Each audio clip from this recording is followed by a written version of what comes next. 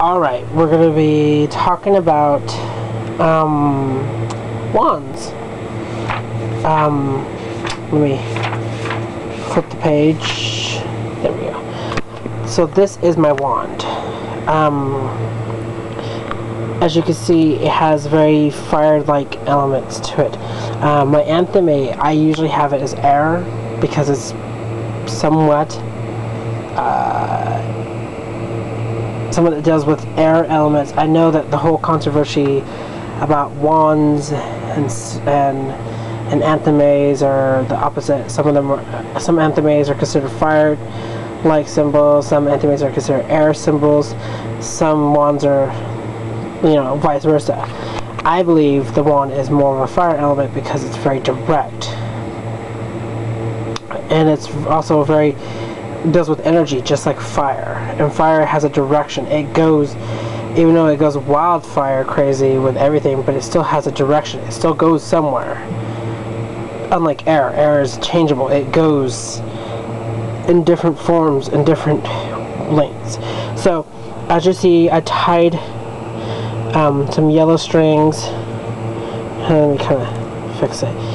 Um, I also tied some red ribbons, some feathers. Even though that's an Arab thing, I just tied feathers to it to kind of relate to um, somewhat the Native Americans and whatnot. And what I had on here, I hot glued gemstones. And uh, I hot glued uh, citrine around it, around it, whole bunch of citrine, and I had a jasper on top. And um, during the ritual, of last year, um, I cast a spell, and uh, I was um, I was doing something protectiveness. I remembered it, and I was waving around, manipulating the energies around me to try to horn in to my um, to myself, basically, to harness some some protective energies, and I during the waving and I was in a pre-trance. I hit it on my altar, and it just goes. All those rocks shattered everywhere, and I thought maybe I should not glue them back. Maybe I should just have it just bare. And it's a willow tree. It's from a willow tree. It's a willow stick, and I swear to God, I had this for almost like nine years, and I don't even look at any other wands. Um, willow tree is very sacred to my goddess, Hecate, and I thought maybe, you know, I should have a willow tree, and I should have it. So I cut it on August 13th. Um, I think it was 98 is when I cut it off. I think I did. And um, I thought, uh, you know, August 13th being the day of Hecate, that I should cut it. But anyways, I tied ribbons to represent flames. I have black horsetail. That's what it's called, I guess, in certain craft shops. Um, but yeah, it's made of willow. You can have any wand. Wands are very impractical tools. You can make anything into a wand just by a simple stick to a simple uh, rod to a simple to a simple what do you want to call it?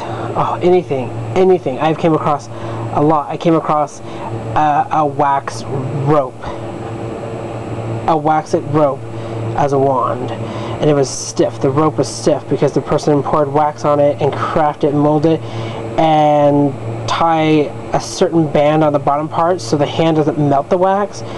Very funny, like very inexpensive, cheap, like and uh, but I thought it was so hilarious coming across that.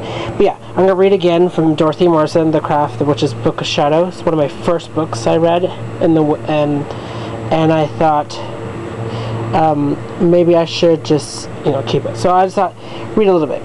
It says, folks, folks, the world over associates witches with magic wands. Perhaps it's because let me hold it. Perhaps because nearly every childhood story written about witches concerning them to the tool, or, I mean connecting them with the tool, That being the case, the mind's eye views not only the symbol of magical power and essence, but the instrument necessary to manifest any number of supernatural phenomena in the physical realm.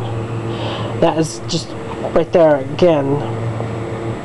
Magic wand. It's another form of creation, but it's it's it's somewhat different. It's where you direct the creation at and whatnot.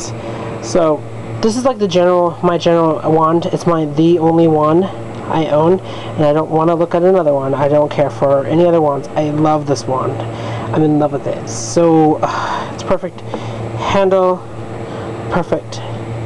It's still sturdy and strong. I don't know how it survived all the years of me going crazy with it, but yeah. So I thought I'd show you my wand. The next tool will be my um, chalice or cup in other words. So yeah.